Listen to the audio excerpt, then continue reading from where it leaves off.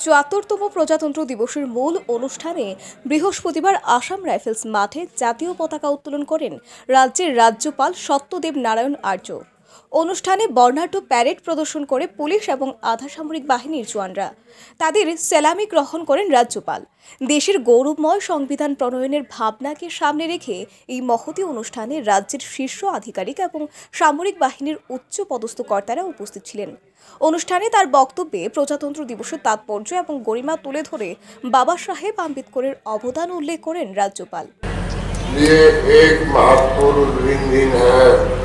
क्योंकि आज ही के दिन 26 जनवरी 1950 को माननीय बाबा साहब डॉक्टर भीमराव अंबेडकर के नेतृत्व में भारतीय संविधान सभा द्वारा रचा गया, संविधान अपनाया गया और भारत एक सार्वभौम लोकतांत्रिक एवं गणराज देश बना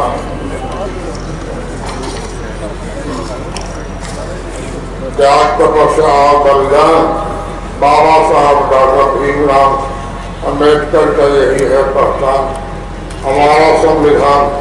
हमारे देश के हर नागरिकों को न्याय स्वतंत्रता समानता और बलभूत प्रदान करता है। संविधान के बयालीसवें संशोधन द्वारा भारत एक धर्मनिरपेक्ष और समाजवादी गणराज बनाया गया। त्रिपुरा के सत्तर प्रतिशत से अधिक लोग मुख्य रूप से अपनी जीविका का ये कृषि एवं व्यापार पर निर्भर करते हैं।